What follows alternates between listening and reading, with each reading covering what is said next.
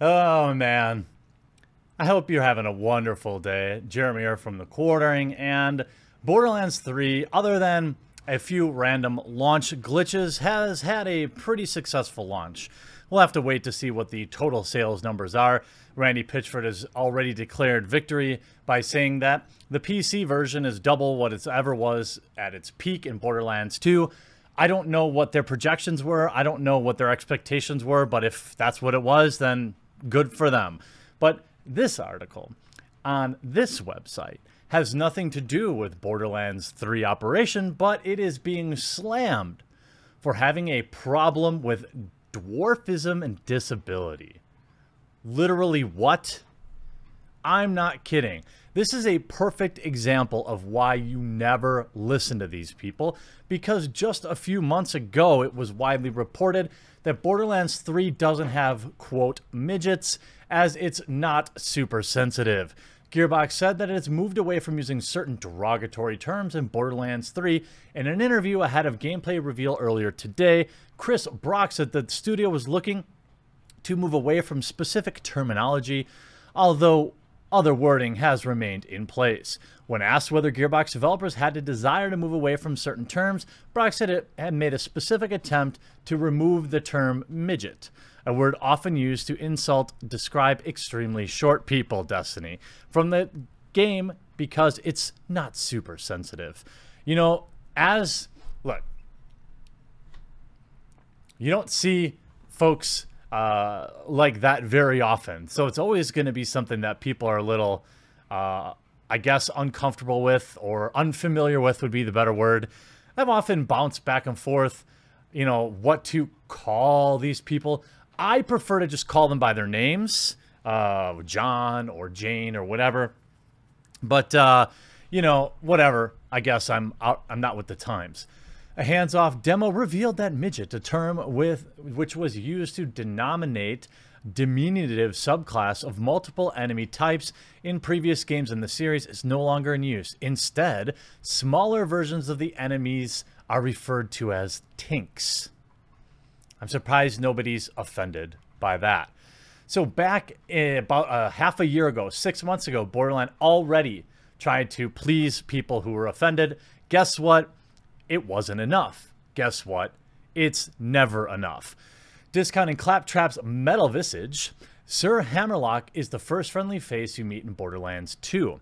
The last survivor of Liar's Berg, surrounded by frozen wasteland, he's dressed from head to toe in Victorian and sports a deeply unconvincing, unconvincing accent.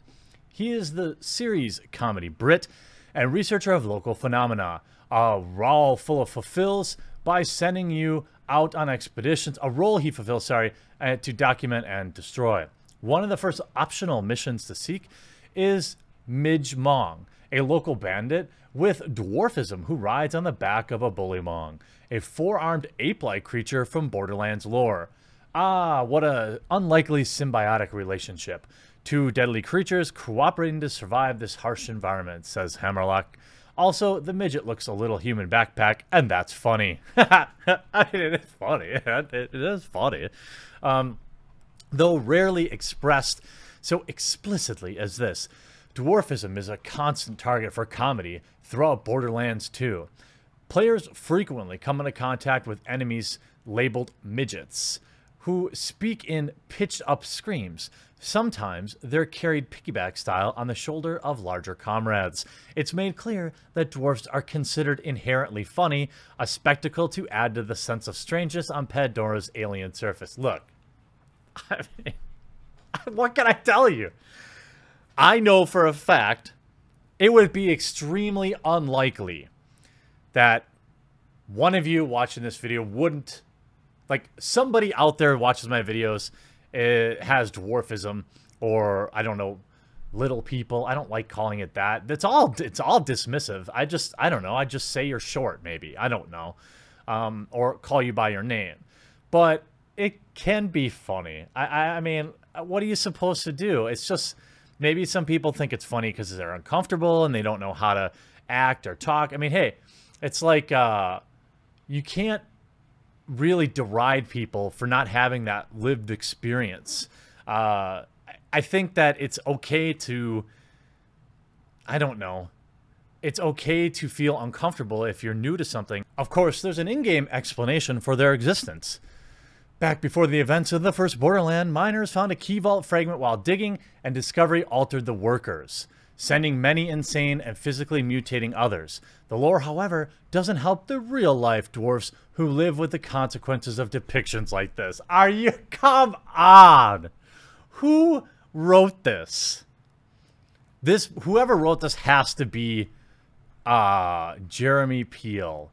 I mean, is this the is this the hill you, you're gonna fight on? I mean, what about um, fat people? People with glandular problems.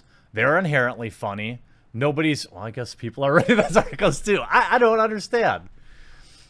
You're complaining about something that literally has lore behind it. It's not like they just threw him in there for literal comedic relief. There's actually lore for it. Peter Dinklage uh, has described jokes about dwarfism as one of the last bastions of acceptable prejudice, unless also you include white males. A 2010 study conducted by University of East Anglia found that 80% of people with dwarfism has re received mean words, and that 12% physical. That's obviously not okay. Making them subjects of video game bad behavior, I imagine, doesn't help that. Yet I'm yet to find a dwarf in any Borderlands who isn't designated as an enemy. And here we go. Here is the real problem. Look, I'm trying to balance being understanding here. It's something that you're born with. You can't have any control over it. And it's crummy if people are mean to you over it who are over the age of 12. Okay? It's stupid, but I mean, if you can't make fun of something, then you can't ever truly own it. I mean, why walk around looking to be offended all the time? What kind of way to, you know, way of living is that? I would just accept it and and I just roll with it. I don't know what else you can do. Ours is a society of people which are drip fed, drip fed through history, media, literature, and popular culture. The idea that dwarfism is at best undesirable. Well, yeah, it is. I mean, right? Why? I mean, of course. Most average height people meet get to know a few, if any, dwarf people in real life. So cultural representations matter a great deal and massively influence perceptions, shape attitudes, and inform behavior. Uh, that's probably a somewhat fair statement, although you'd have to be a real ignoramus to be like, oh, okay, um, well, Peter Dinklage is really smart in Game of Thrones, therefore all other people with dwarfism must also be smart. Like, those people are just dumb. I mean, um, collectivist-minded people, in my opinion, are also dumb. Borderlands joins a long line of representations of dwarves as either punchlines or in Austin Powers, uh, as in Austin Powers. I mean, Mini-Me, come on. He was evil. Or curiosities like the Oompa Loompas and Charlie in the Chocolate Factory. The term midget in itself is considered derogatory, associated with freak shows of P.T. Barnum and public display of dwarfs for novelty entertainment.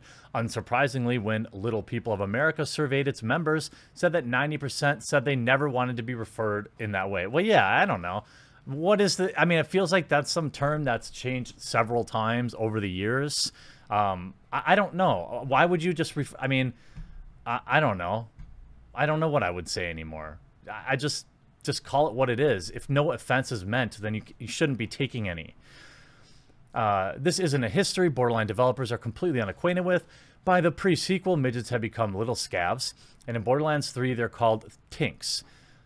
Again, this is why you don't worry about it. You just do your thing, because it will never be enough, and people will always be offended.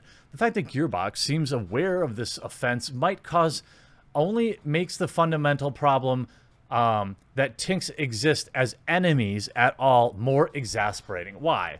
Because they can't be evil? As far as I know, dwarfism does not affect the brain. So they would have the exact same likelihood of being evil or not. In fact, if what you say is, uh, you know, that they experience such a rough life, wouldn't you think they'd have a higher propensity of pe of people to, uh, you know, maybe snap? I don't know. To make matters worse, Borderlands 3 evidently has a wider problem with this presentation of disability. The very first mini boss you face, Shiv, has a hand and arm deformities. It would be a different matter if similar disabilities were presented among your allies, but instead it seems exclusive to the Children of the Vault, which, by the way, fits lore. Friendly NPCs in Borderlands sport prosthetics, but they're either voluntary, like Atlas CEO uh, Ray's Strongfork, who replaced her arm to get ahead of the Hyperion data mining department, or part of a cool backstory. So, again, there's a clear divide between heroic disabilities, heroic disabilities, and robotic eyes or steampunk limps, and the bandit ones that leave their sufferers with impairments. Those who grew up with real world disfigurement often feel as though they're left out of society, which does suck, obviously. Uh, I doubt any of them would be uh, really upset about this video game. And this is coming from the same people that whined about, or Polygon whined about uh, Rage 2 having uh, a cleft lip. Who cares? It's a video game. It's not real life. I, I just don't understand how deeply you. I mean, this is a company Randy by, run by Randy Pitchford. I mean, that's an endless well of things to complain about. This, this is Olympic levels of reaching. Hope you enjoyed this video. We'll talk to you again real soon. Hey, thanks so much for watching this video, and I really hope you enjoyed it. Above, you'll find some links to watch more videos, as well as a nice big button to subscribe, which I hope you'll do. If you did enjoy it, make sure before you go that you leave a like and a comment on the video, because you are the number one reason this channel continues to grow, and I appreciate you.